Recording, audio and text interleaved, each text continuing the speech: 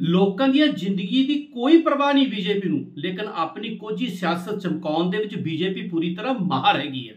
ਹੁਣ ਜੇ ਮੈਂ ਰੀਸੈਂਟ ਘਟਨਾਵਾਂ ਦੀ ਗੱਲ ਕਰਾਂ ਕੱਲ ਹੀ ਜਿਸ ਤਰੀਕੇ ਦਾ ਡਾਟਾ ਆਇਆ ਹੈ ਕਿ ਮੁਲਕ ਦੇ ਵਿੱਚ 52 ਜ਼ਿਲ੍ਹੇ ਸਭ ਤੋਂ ਵੱਧ ਪੋਲਿਊਟਡ ਨੇ, ਉਹਨਾਂ ਵਿੱਚੋਂ 20 ਜ਼ਿਲ੍ਹੇ ਜਿਹੜੇ ਆ ਉਹ ਹਰਿਆਣੇ ਦੇ ਹੈ। ਖੱਟੜ ਸਾਹਿਬ ਫਿਰ ਵੀ ਸਿਆਸਤ ਕਰਨ ਤੋਂ ਬਾਜ਼ ਨਹੀਂ ਆਉਂਦੇ, ਫਿਰ ਵੀ ਇਲਜ਼ਾਮ ਪੰਜਾਬ ਤੇ ਲਗਾਉਂਦੇ ਆ।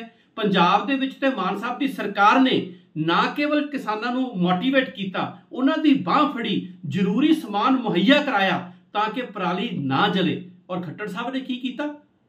ਸਿਰਫ ਸਿਆਸਤ ਔਰ ਸਿਆਸਤ ਤੋਂ ਇਲਾਵਾ ਕੁਝ ਵੀ ਨਹੀਂ। ਮੈਂ ਤੇ ਖੱਟੜ ਸਾਹਿਬ ਨੂੰ ਇਹ ਕਹਿਣਾ ਚਾਹੁੰਦਾ ਵਾਂ, ਤੁਸੀਂ ਕਿਸਾਨਾਂ ਦੀ ਬਾਹ ਫੜੋ, ਉਹਨਾਂ ਨੂੰ ਜ਼ਰੂਰੀ ਸੰਦ ਮੁਹੱਈਆ ਕਰਾਓ। ਜੇਕਰ ਤੁਸੀਂ ਇਹ ਨਹੀਂ ਕਰ ਸਕਦੇ, ਸਿਆਸਤ ਨਾ ਕਰੋ ਕਿਰਪਾ ਕਰਕੇ। ਲੋਕਾਂ ਦੀ ਜ਼ਿੰਦਗੀ ਬੜੀ ਕੀਮਤੀ ਹੈ। ਸਿਆਸਤ ਤੋਂ ਲਾਂਭੇ ਹੋ ਜਾਓ, ਅਸਤੀਫਾ ਦੇ ਦਿਓ। ਸਾਨੂੰ ਸਵਾਓ ਹਰਿਆਣਾ, ਜਿੱਦਾਂ ਅਸੀਂ ਪੰਜਾਬ ਦੇ ਵਿੱਚ ਪ੍ਰਬੰਧ ਕੀਤਾ ਹੈ, ਹਰਿਆਣੇ 'ਚ ਵੀ ਕਰ ਦਿਆਂਗੇ।